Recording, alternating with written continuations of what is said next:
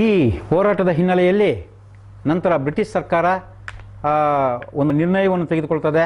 ಆ ನಿರ್ಣಯವನ್ನು ತೆಗೆದುಕೊಳ್ಳೋದ್ರ ಮೂಲಕ ಏನಾದರೂ ಮಾಡಿ ಮತ್ತೆ ಮತ್ತೆ ಇನ್ನೊಂದು ಕಾನೂನನ್ನು ಜಾರಿಗೆ ತರಬೇಕು ಅಂತೇಳಿ ಕಾ, ನಿರ್ಧಾರ ಮಾಡಿ ಈ ಸಂದರ್ಭದಲ್ಲಿ ಒಂದು ಕ್ರಿಪ್ಸ್ ಮಿಷನನ್ನು ಕಳಿಸ್ಕೊಳ್ಳೋದಕ್ಕೆ ಪ್ರಯತ್ನ ಮಾಡ್ತದೆ. ಆ ಕ್ರಿಪ್ಸ್ ಮಿಷನನ್ನು ಕಲಿಸ್ಕೊಳ್ಳೋದಕ್ಕಿಂತ ಮೊದಲು ಸಾವಿರದ ಒಂಬೈನೂರ ಮೂವತ್ತೈದರ ಕಾಯ್ದೆಯನ್ನು ಜಾರಿಗೆ ತರ್ತದೆ.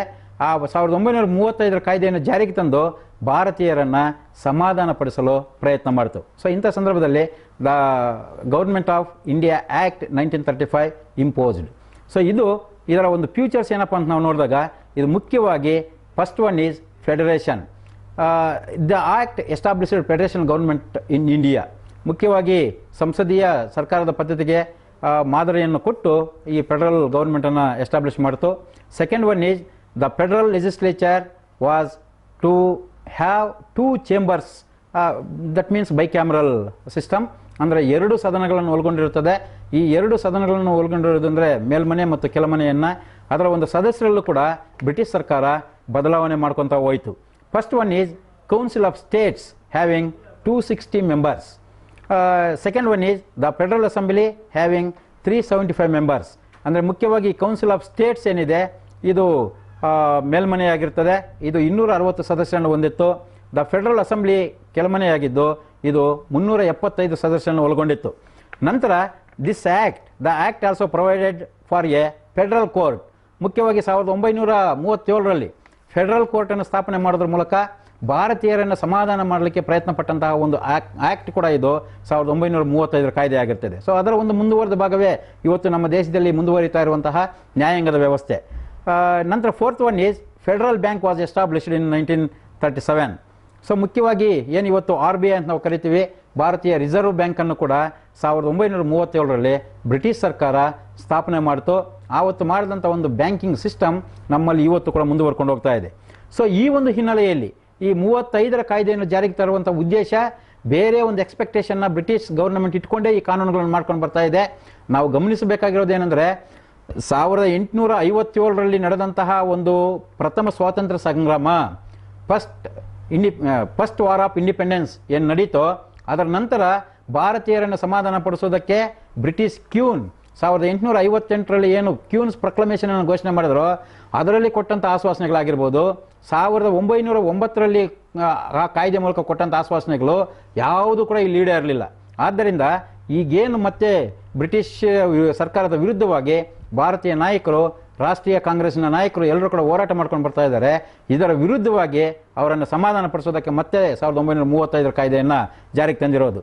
ಸೊ ನಂತರ ಈ ಒಂದು ಸಂದರ್ಭದಲ್ಲಿ ಸಾವಿರದ ಒಂಬೈನೂರ ಮೂವತ್ತೈದರ ಕಾಯ್ದೆಯನ್ನು ಜಾರಿಗೆ ತಂದ ಮೇಲೆ ಮುಖ್ಯವಾಗಿ ಬ್ರಿಟಿಷ್ ಸರ್ಕಾರ ಒಂದು ಕ್ರಿಪ್ಸ್ ಮಿಷನನ್ನು ಭಾರತ ದೇಶಕ್ಕೆ ಕಳಿಸ್ಕೊಡ್ತದೆ. ಅಷ್ಟೊತ್ತಿಗೆ ಸಾವಿರದ ಒಂಬೈನೂರ ನಲವತ್ತೊಂದರಲ್ಲಿ ಎರಡನೇ ಮಹಾಯುದ್ಧ ಪ್ರಾರಂಭ ಆಗಿರ್ತದೆ. ಎರಡನೇ ಮಹಾಯುದ್ಧ ಪ್ರಾರಂಭವಾಗಿ ಸಾವಿರದ ಒಂಬೈನೂರ ನಲವತ್ತೊಂದರಲ್ಲಿ ಜರ್ಮನಿ ರಷ್ಯಾದ ಮೇಲೆ ಯುದ್ಧ ಮಾಡಿತು. ಸಾವಿರದ ಒಂಬೈನೂರ ನಲವತ್ತೆರಡರಲ್ಲಿ ಸಿಂಗಪೂರ, ಮಲೆಯಾ, ಜಪಾನ್ ಇವೆಲ್ಲವನ್ನು ಕೂಡ ವಶಪಡಿಸ್ಕೊಳ್ಳಾಯಿತು ಆಗ ಬ್ರಿಟನ್ ನಾನು ಎಲ್ಲಿ ಸೋತೋಗ್ತೀನೋ ಅನ್ನೋ ಒಂದು ಉದ್ದೇಶದಿಂದ ಭಾರತೀಯರ ಸಹಕಾರವನ್ನು ಈ ಎರಡನೇ ಮಹಾಯುದ್ಧಕ್ಕೆ ಪಡಿಬೇಕನ್ನೋ ದೃಷ್ಟಿಯಿಂದ ಮುಖ್ಯವಾಗಿ ಭಾರತಕ್ಕೆ ಕ್ರಿಪ್ಸ್ ಮಿಷನ್ ಅನ್ನು ಕಳಿಸ್ಕೊಡ್ತಾರೆ. ಆ ಕ್ರಿಪ್ಸ್ ಮಿಷನ್ ಬಂದು ನಮ್ಮ ಭಾರತೀಯ ನಾಯಕರ ಹತ್ರ ಚರ್ಚೆ ಮಾಡ್ತದೆ. ಏನಂದರೆ ಸೆಕೆಂಡ್ ವರ್ಲ್ಡ್ ವಾರ್ಗೆ ನಿಮ್ಮ ಸಹಾಯವನ್ನು ಕೊಡಿ ಅಂತೇಳಿ.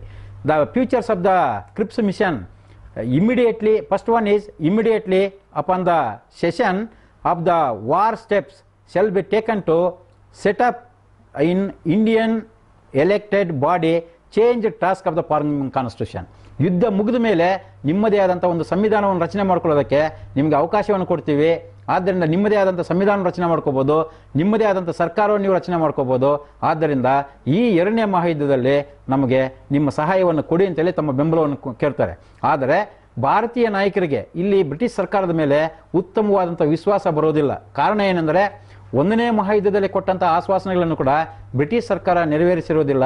ಆದ್ದರಿಂದ ಎರಡನೇ ಮಹಾಯುದ್ಧಕ್ಕೆ ನಾವು ಬೆಂಬಲ ಕೊಡಬೇಕಾ ಬೇಡವಾ ಎನ್ನುವ ಒಂದು ದೊಡ್ಡ ಪ್ರಶ್ನೆ ಇಲ್ಲಿ ಉದ್ಭವ ಆಗ್ತದೆ second one is provisions shall be made for the participation Indian states in the constitution making body ಅಂದರೆ ಭಾರತದ ರಾಜ್ಯಗಳೇನಿದ್ದಾವೆ ಆ ರಾಜ್ಯಗಳಿಗೂ ಕೂಡ ಸಂವಿಧಾನಗಳನ್ನು ರಚನೆ ಮಾಡ್ಕೊಳ್ಳುವಂಥ ಅವಕಾಶವನ್ನು ನಾವಿಲ್ಲಿ ಕಲ್ಪಿಸ್ಕೊಡ್ತೀವಿ ಅಂತೇಳಿ the Cripps mission promised. And third one is the Congress rejected the proposal ಅಂದರೆ ಮುಖ್ಯವಾಗಿ ಇಲ್ಲಿ ಏನು ಕ್ರಿಪ್ಸ್ ಮಿಷನ್ನಿನ ಪ್ರಪೋಸಲ್ಸ್ ಏನಿತ್ತೋ ಅವೆಲ್ಲವನ್ನು ಕೂಡ ಕಾಂಗ್ರೆಸ್ ರಿಜೆಕ್ಟ್ ಮಾಡ್ತದೆ, ತಿರಸ್ಕಾರ ಮಾಡ್ತದೆ. ಕಾರಣ ಏನಪ್ಪ ಅಂತಂದರೆ ಈ ಒಂದು ಕ್ರಿಪ್ಸ್ ಮಿಷನ್ ಕೊಡ್ತಾ ಇರುವಂತಹ ಆಶ್ವಾಸನೆಗಳು ಭಾರತೀಯರನ್ನು ಸಮಾಧಾನ ಪಡಿಸುವಂಥ ನಿಟ್ಟಿನಲ್ಲಿ ಇಲ್ಲ.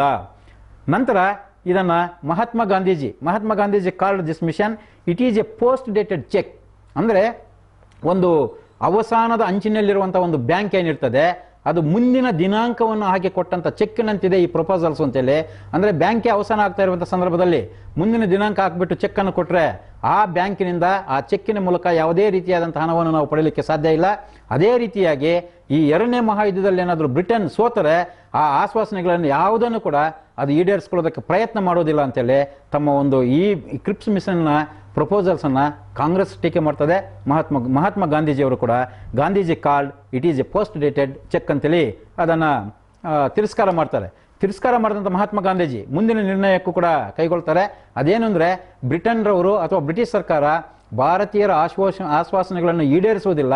ಆದ್ದರಿಂದ ಇಲ್ಲಿ ಮುಖ್ಯವಾಗಿ ನಾವು ಒಂದು ನಿರ್ಧಾರವನ್ನು ತೆಗೆದುಕೊಳ್ಬೇಕಾಗ್ತದೆ ಅಂತೇಳಿ ನಿರ್ಣಯ ಮಾಡಿ ಎಂಟು ಎಂಟು ಸಾವಿರದ ಒಂಬೈನೂರ ನಲವತ್ತೆರಡರಂದು ಕ್ವಿಟ್ ಇಂಡಿಯಾ ಮೂಮೆಂಟ್ ಬಾ, ಬ್ರಿಟಿಷರೇ ಭಾರತವನ್ನು ಬಿಟ್ಟು ತೊಲಗಿ ಎಂಬ ಚಳವಳಿಯನ್ನು ಪ್ರಾರಂಭ ಮಾಡಿದರು. ಆ ಚಳವಳಿ ಮೂಲಕ ಬ್ರಿಟಿಷರಿಗೆ ಎಚ್ಚರಿಕೆ ಸಂದೇಶವನ್ನು ಕೊಡಲಿಕ್ಕೆ ಸಾಧ್ಯ ಆಯಿತು. ಸೊ ಅಂಥ ಸಂದರ್ಭದಲ್ಲಿ the England government Gandhi and Congress leaders was arrested ಈ ಮುಖ್ಯವಾಗಿ ಗಾಂಧೀಜಿಯವರನ್ನಾಗಿರ್ಬೋದು ಮತ್ತು ನಮ್ಮ ರಾಷ್ಟ್ರೀಯ ಕಾಂಗ್ರೆಸ್ನ ನಾಯಕರೇನಿದ್ದಾರೆ ಅವರೆಲ್ಲರನ್ನು ಕೂಡ ಅರೆಸ್ಟ್ ಮಾಡ್ತದೆ, ಬಂಧಿಸಲ್ಪಡಲಾಯಿತು. ಸೊ ಆ ಬಂಧಿಸಲ್ಪಟ್ಟಂಥ ಸಂದರ್ಭದಲ್ಲಿ ಅವರು ಬ್ರಿಟನ್ನಿನವರು ಅಂದ್ಕೊಂಡಿರೋದು ಮಹಾತ್ಮ ಗಾಂಧೀಜಿಯವರನ್ನು ಬಂಧಿಸಿಬಿಟ್ರೆ ಈ ಒಂದು ಹೋರಾಟ ಅಲ್ಲಿಗೆ ಮುಕ್ತಾಯ ಆಗ್ತದೆ ಅಂತೇಳಿ. ಆದರೆ ಎಲ್ಲ ಕಡೆ ಕಡೆ ಅಷ್ಟೊತ್ತಿಗೆ ಮಹಾತ್ಮ ಗಾಂಧೀಜಿಯವರ ಒಂದು ತತ್ವಗಳಾಗಿರ್ಬೋದು, ಮಹಾತ್ಮ ಗಾಂಧೀಜಿಯವರ ಮೌಲ್ಯಗಳಾಗಿರ್ಬೋದು ಅಷ್ಟೊತ್ತಿಗೆ ದೇಶದಾದ್ಯಂತ ಪ್ರಚಾರ ಆಗಿತ್ತು. ಈ ಹಿಂದೆ ಅವರು ಕೈಗೊಂಡಂತಹ ಚಂಪಾರಣ್ಯ ಚಳವಳಿ ಆಗಿರ್ಬೋದು, ಅಥವಾ ಕರನಿರಾಕರ ಚಳುವಳಿ ಆಗಿರ್ಬೋದು, ಅಥವಾ ಕಾರ್ಮಿಕರ ಚಳವಳಿ ಆಗ್ಬೋದು, ಇವೆಲ್ಲವೂ ಕೂಡ ದೇಶದ ಜನರ ಮನವನ್ನು ಗೆದ್ದಿದ್ದರಿಂದ ಈ ಒಂದು ಕ್ವಿಟ್ ಇಂಡಿಯಾ ಮೂಮೆಂಟ್ ಅಂತೇಳಿ ಭಾರತವನ್ನು ಬಿಟ್ಟು ತೊಲಗಿ ಚಳವಳಿ ಏನು ಪ್ರಾರಂಭ ಮಾಡಿತ್ತು. ಅದರಲ್ಲೂ ಕೂಡ ಮಹಾತ್ಮ ಗಾಂಧೀಜಿಯವರ ಒಂದು ಪರಿಣಾಮ ಅತ್ಯಂತ ಉತ್ತಮವಾಗಿತ್ತು. ಆದ್ದರಿಂದ ಮಹಾತ್ಮ ಗಾಂಧೀಜಿಯವರನ್ನು ಬಂಧಿಸಿದರೂ ಕೂಡ ಇಡೀ ದೇಶದಾದ್ಯಂತ ಈ ಒಂದು ಚಳಿ ಚಳವಳಿ ಅತ್ಯಂತ ಉತ್ತಮವಾದಂಥ ರೀತಿಯಲ್ಲಿ ನಡೀತಾ ಇತ್ತು ಸೊ ಇದಕ್ಕಿಂತ ಮೊದಲು ಮಾನ್ಯ ಚಿತ್ತರಂಜನ್ ದಾಸ್ರವರು ಕೆಲವು ವಿಚಾರಗಳಲ್ಲಿ ಮಹಾತ್ಮ ಗಾಂಧೀಜಿಯವರ ತತ್ವಗಳನ್ನು ವಿರೋಧ ಮಾಡಿದ್ರು ಕೂಡ ಈ ಒಂದು ಹೋರಾಟಕ್ಕೆ ಅವರೇ ಪ್ರತ್ಯೇಕವಾದಂಥ ಒಂದು ಗುಂಪಿನೊಂದಿಗೆ ಬಂದು ಮಹಾತ್ಮ ಗಾಂಧೀಜಿಯವರನ್ನು ಸೇರ್ಕೊಂತಾರೆ. ಆವಾಗ ಇನ್ನೂ ಕೂಡ ಈ ಒಂದು ಕ್ವಿಟ್ ಇಂಡಿಯಾ ಮೂಮೆಂಟ್ ಅಥವಾ ಭಾರತವನ್ನು ಬಿಟ್ಟು ತೊಲಗಿ ಚಳವಳಿಗೆ ಅತ್ಯಂತ ಹೆಚ್ಚಿನ ಮಹತ್ವ ಬಂತು. ಸೊ ಗಾಂಧೀಜಿಯವರನ್ನು ಈ ಸಂದರ್ಭದಲ್ಲಿ ಬಂಧಿಸಿದರೂ ಕೂಡ ನಂತರ Gandhiji was released on May fifth nineteen forty four on grounds of ill health ಇದರ ಜೈಲಿನಲ್ಲೇ ಮಹಾತ್ಮ ಗಾಂಧೀಜಿಯವರು ಅನಾರೋಗ್ಯಕ್ಕೆ ತುತ್ತಾಗ್ತಾರೆ. ಅಂಥ ಸಂದರ್ಭದಲ್ಲಿ ಮಹಾತ್ಮ ಗಾಂಧೀಜಿಯವರನ್ನು ಬಿಡುಗಡೆ ಮಾಡಿ, ಆ, ಬ್ರಿಟನ್ ಸರ್ಕಾರ ಆದೇಶವನ್ನು ಮಾಡ್ತದೆ. ಆದರೆ ಅದೇ ಸಂದರ್ಭದಲ್ಲಿ ವೇವೆಲ್ ಪ್ಲಾನ್ ಅಥವಾ ವೇವೆಲ್ ಯೋಜನೆ ಅಂತೇಳಿ ಬ್ರಿಟಿಷ್ ಸರ್ಕಾರ ಕೈಗೊಳ್ತದೆ. ಈ ವೇವೆಲ್ ಪ್ಲಾನ್ ಏನಪ್ಪ ಇದಂತಂದರೆ correspondence between Gandhiji and Wavell in nineteen forty four. ಆ ವೇವೆಲ್ರವರು ಬಂದು ಭಾರತದ ಅತ್ಯುನ್ನತ ನಾಯಕರಾಗಿರುವಂತಹ ಮತ್ತು ತನ್ನದೇ ಆದಂಥ ಸಿದ್ಧಾಂತ ಮತ್ತು ಮೌಲ್ಯಗಳ ಮೂಲಕ ಅದರಲ್ಲೂ ಕೂಡ ವಿಶೇಷವಾಗಿ ಅಹಿಂಸೆ, ಸತ್ಯ ಅರತಾಲದ ಮೂಲಕ ಇಡೀ ಪ್ರಪಂಚದ ಒಂದು ಮನಸ್ಸನ್ನು ಗೆದ್ದಂತಹ ಮಹಾತ್ಮ ಗಾಂಧೀಜಿಯವರನ್ನು ಮನಸ್ಸನ್ನು ಪರಿವರ್ತನೆ ಮಾಡಬೇಕು ಅಂತಲೇ ವೇವೆಲ್ ಪ್ಲಾನ್ ಬಂತು. ಆವಾಗ ಸಾವಿರದ ಒಂಬೈನೂರ ನಲವತ್ನಾಲ್ಕರಲ್ಲಿ ಗಾಂಧೀಜಿಯವರ ಜೊತೆಗೆ ಚರ್ಚೆಯನ್ನು ಮಾಡಲಾಯಿತು. ಸೊ ಆವಾಗ ವೇವೆಲ್ ಪ್ಲಾನ್ ತಿಳಿಸುತ್ತೆ under this plan India was to be granted dominion status ಅಂದರೆ ಮುಖ್ಯವಾಗಿ ನೀವು ಹೋರಾಟಗಳನ್ನು ನಿಲ್ಲಿಸಿ ನಿಮಗೆ ಒಂದು ಉತ್ತಮವಾದಂಥ ಪ್ರಭುತ್ವ ಸ್ಥಾನವನ್ನು ನಾವು ಕೊಡ್ತಾ ಇದ್ದೀವಿ ಅಂತೇಳಿ ಆಶ್ವಾಸನೆಯನ್ನು ನೀಡಲಾಯಿತು. ನಂತರ third one is the India Indian would themselves draft the constitution ನಿಮ್ಮ ಭಾರತ ದೇಶಕ್ಕೆ ಬೇಕಾಗಿರುವಂತಹ ನಿಮ್ಮದೇ ಆದಂಥ ಒಂದು ಸಂವಿಧಾನವನ್ನು ನೀವು ರಚನೆ ಮಾಡ್ಕೊಳ್ಳೋದಕ್ಕೂ ಕೂಡ ಅವಕಾಶ ಮಾಡಿಕೊಡ್ತೀವಿ ಅಂತೇಳಿ ತಮ್ಮ ಆಶ್ವಾಸನೆಯನ್ನು ಬ್ರಿಟಿಷ್ ಸರ್ಕಾರದ ಮೂಲಕ ವೇವೆಲ್ ಯೋಜನೆಯಲ್ಲಿ ಕೊಳ್ಳಾಯಿತು ನಂತರ fourth one is the Hindus and Muslims would be equally ಇಲ್ಲಿ ಮಾತ್ರ ಭಾರತದ ಮುಸ್ಲಿಮರು ಮತ್ತು ಹಿಂದೂಗಳು ಎಲ್ಲರೂ ಕೂಡ ಒಂದೇ ರೀತಿಯಿಂದ ನೋಡ್ತೀವಿ ಅಂತೇಳಿ ಆಶ್ವಾಸನೆಯನ್ನು ಕೊಡ್ತಾರೆ. ಆದರೆ ಈ ಹಿಂದೆ ಸಾವಿರದ ಒಂಬೈನೂರ ಆರರಲ್ಲಿ ಮುಸ್ಲಿಂ ಲೀಗ್ ಪ್ರಾರಂಭ ಆದಂಥ ಸಂದರ್ಭದಲ್ಲಿ ಆ ಮುಸ್ಲಿಂ ಲೀಗ್ನ ಪ್ರಮುಖ ನಾಯಕರಾದಂತಹ ಆಲಿ ಸಹೋದರರು ಆಗಾ ಖಾನ್ರವರೆಗೂ ಕೂಡ ಈ ಬ್ರಿಟಿಷರು ತಮ್ಮದೇ ಆದಂಥ ಒಂದು ಪ್ರೋತ್ಸಾಹವನ್ನು ಕೊಟ್ಟು ಸಾವಿರದ ಒಂಬೈನೂರ ಆರರ ಒಂದು ಘಟನೆ ನಡೆದಿದ್ದು, ಮುಸ್ಲಿಂ ಲೀಗ್ ಪ್ರಾರಂಭ ಆಗಿದ್ದು.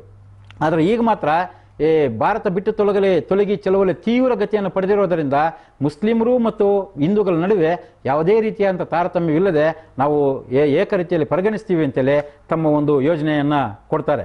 ಸೊ, ಆದರೆ ಇದು ಕೂಡ ಯಶಸ್ವಿ ಆಗಲಿಲ್ಲ. ಆದ್ದರಿಂದ ಮತ್ತೆ ಇಂಗ್ಲೆಂಡ್ ಸರ್ಕಾರ ಕ್ಯಾಬಿನೆಟ್ ಮಿಷನನ್ನು ಭಾರತಕ್ಕೆ ಕಳಿಸ್ಕೊಡ್ತದೆ. ಆ ಕ್ಯಾಬಿನೆಟ್ ಮಿಷನ್ನಿನಲ್ಲಿ ಮುಖ್ಯವಾಗಿ ಮೂರು ಜನ ಸದಸ್ಯರು ಬರ್ತಾರೆ. ಆ ಮೂರು ಜನ ಸದಸ್ಯರು ಯಾರಪ್ಪ ಕ್ಯಾಬಿನೆಟ್ ಮಿಷನ್ನಲ್ಲಿ ಅಂತಂದರೆ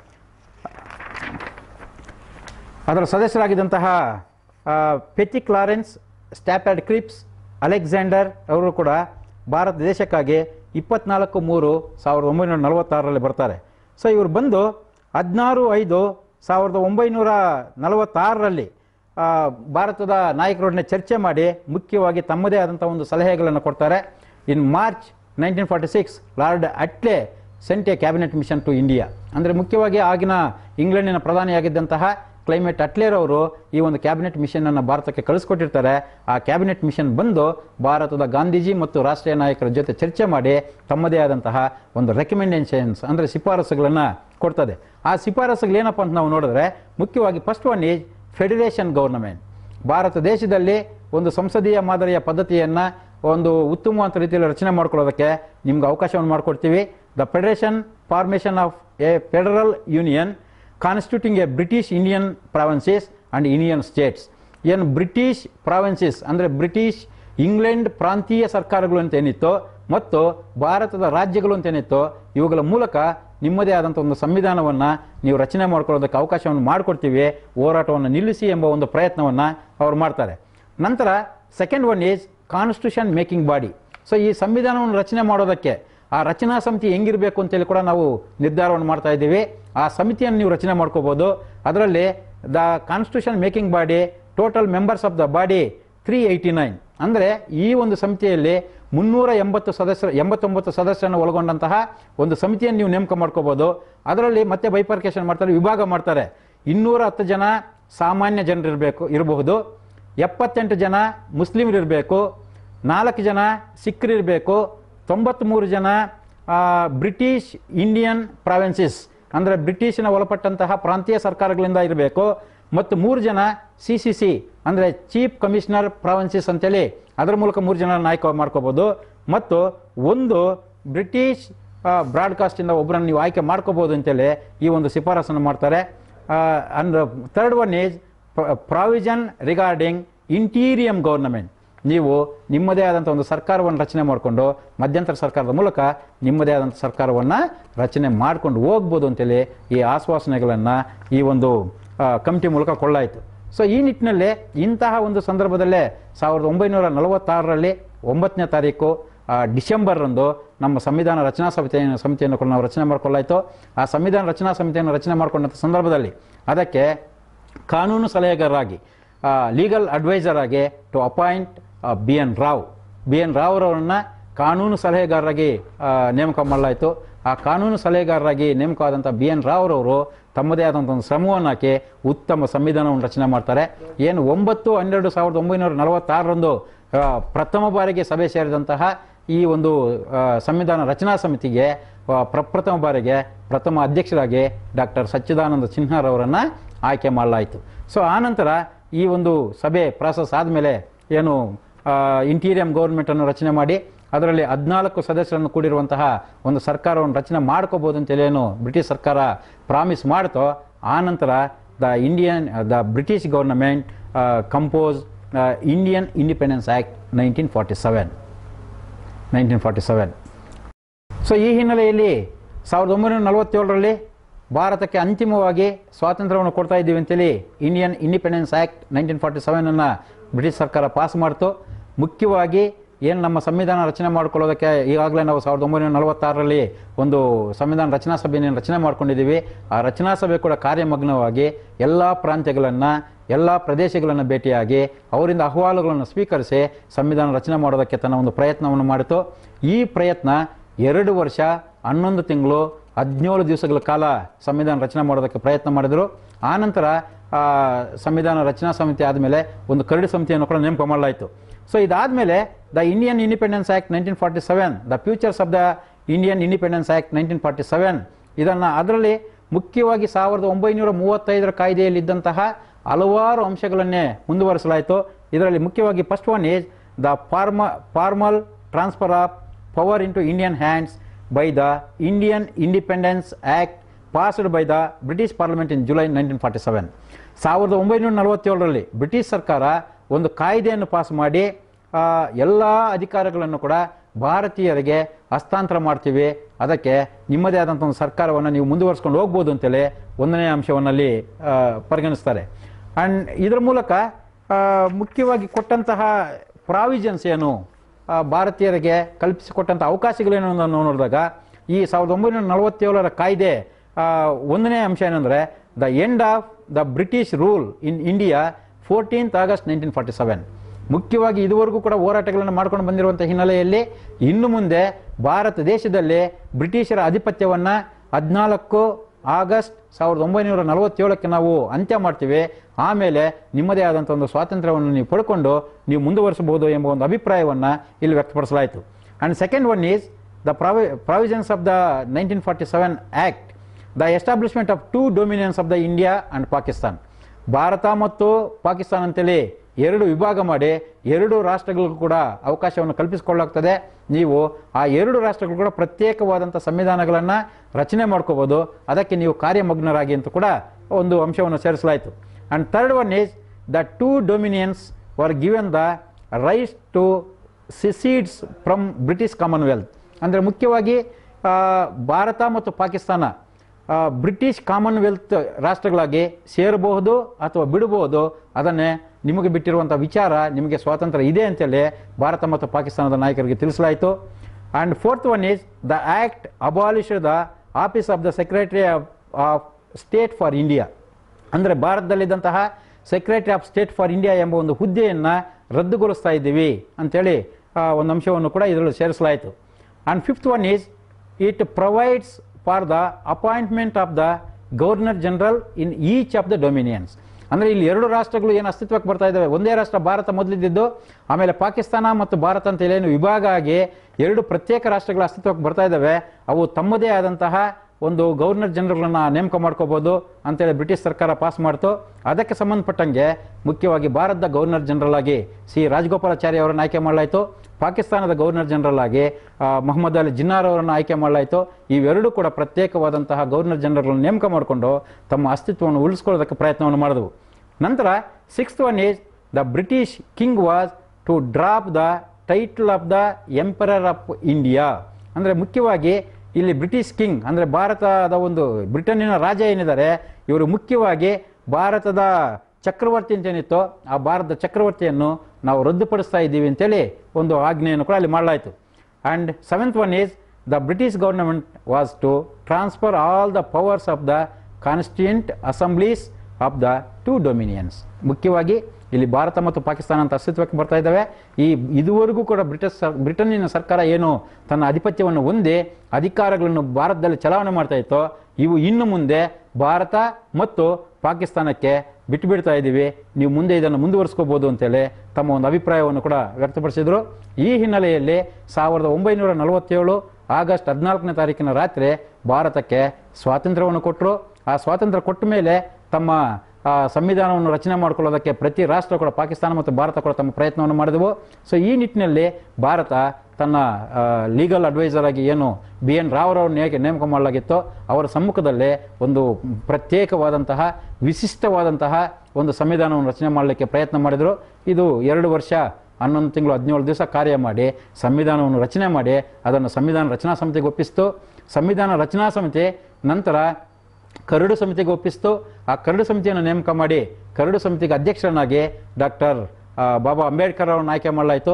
ಅಷ್ಟೊತ್ತಿಗೆ ಇಂಟೀರಿಯಂ ಗೌರ್ಮೆಂಟಲ್ಲಿ ಕಾನೂನು ಮಂತ್ರಿಯಾಗಿದ್ದಂತಹ ಮಾನ್ಯ ಅಂಬೇಡ್ಕರ್ ಅವರು ವಿಶೇಷವಾಗಿ ಕಾನೂನಿನ ಬಗ್ಗೆ ಪಾಂಡಿತ್ಯವನ್ನು ಪಡೆದಿದ್ದರಿಂದ ಅವರು ಸಂವಿಧಾನವನ್ನು ಅತ್ಯಂತ ಅಚ್ಚುಕಟ್ಟಾಗಿ ತಿದ್ದಿ ತಮ್ಮದೇ ಆದಂಥ ಒಂದು ಕೊಡುಗೆಯನ್ನು ಸಂವಿಧಾನಕ್ಕೆ ಕೊಟ್ಟಿದ್ದಾರೆ. ಆದ್ದರಿಂದ ಈ ಸಂವಿಧಾನದ ಪಿತಾಮಹ ಅಂತೇಳಿ ನಾವು ಮಾನ್ಯ ಅಂಬೇಡ್ಕರ್ ಅವರನ್ನು ಕರಿತೀವಿ. ಸೊ ಈ ನಿಟ್ಟಿನಲ್ಲಿ ಸಾವಿರದ ಒಂಬೈನೂರ ನಲವತ್ತೊಂಬತ್ತು ನವೆಂಬರ್ ಇಪ್ಪತ್ತಾರರಂದು ನಮ್ಮ ಸಂವಿಧಾನವನ್ನು ಅಂಗೀಕರಿಸಲಾಯಿತು ನಾವು. ಸೊ ಹಿಂಗಿ ಅಂಗೀಕರಿಸಿದಂಥ ಸಂವಿಧಾನದಲ್ಲಿ ಮುಖ್ಯವಾಗಿ ಮೂಲ ಸಂವಿಧಾನದಲ್ಲಿ ಮುನ್ನೂರ ತೊಂಬತ್ತೈದು ವಿಧಿಗಳಿತ್ತು, ಎಂಟು ಪರಿಶಿಷ್ಟಗಳಿತ್ತು. ಈ ಮೂಲಕ ಸಂವಿಧಾನವನ್ನು ನಾವು ಒಪ್ಪಿಕೊಂಡ್ವಿ. ನಂತರ ಸಂವಿಧಾನವನ್ನು ಇಪ್ಪತ್ತಾರು ಒಂದು ಸಾವಿರದ ಒಂಬೈನೂರ ಐವತ್ತರಂದು ಜಾರಿಗೆ ತಂದಿದ್ದೀವಿ.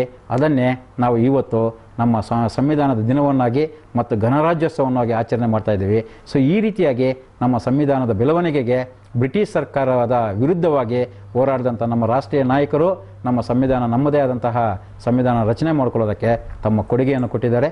ಇವತ್ತು we have own our Indian constitution ಈ ಸಂವಿಧಾನದ ಮೂಲಕ ನಾನು ಆಗಲೇ ಹೇಳಿದಂಥ ರೀತಿಯಲ್ಲಿ ಸಂವಿಧಾನ ಎಂದರೆ it is a basic principles of the every country ಅಂದರೆ ಭಾರತದ ಅದು ಅಥವಾ ಬೇರೆ ರಾಷ್ಟ್ರಗಳಾಗಿರ್ಬೋದು, ಪ್ರತಿಯೊಂದು ರಾಷ್ಟ್ರವೂ ಕೂಡ ಒಂದು ಸಂವಿಧಾನವನ್ನು ಹೊಂದಿದ್ದು basic principles of the country ಮೂಲಭೂತ ತತ್ವಗಳಾಗಿರ್ತದೆ ಆ್ಯಂಡ್ ಬೇಸಿಕ್ ಲಾ ಆಲ್ಸೋ ಮುಖ್ಯವಾಗಿ ಮೂಲಭೂತ ಕಾನೂನಾಗಿ ಸಂವಿಧಾನ ಇರ್ತದೆ. ಆ ಸಂವಿಧಾನದ ತತ್ವಗಳಿಗೆ ಅನುಸಾರವಾಗಿ ಪ್ರತಿ ರಾಷ್ಟ್ರದ ಸರ್ಕಾರವು ಕೂಡ ತನ್ನ ಒಂದು ಶಾಸನಗಳನ್ನು ರಚನೆ ಮಾಡಿ, ಕಾನೂನುಗಳನ್ನು ಜಾರಿ ಮಾಡಿ, ಅವುಗಳನ್ನು ಅನುಷ್ಠಾನ ಮಾಡಿ ಉತ್ತಮವಾದಂಥ ಆಡಳಿತ ಕೊಡೋದಕ್ಕೆ ಪ್ರಯತ್ನ ಮಾಡ್ತವೆ.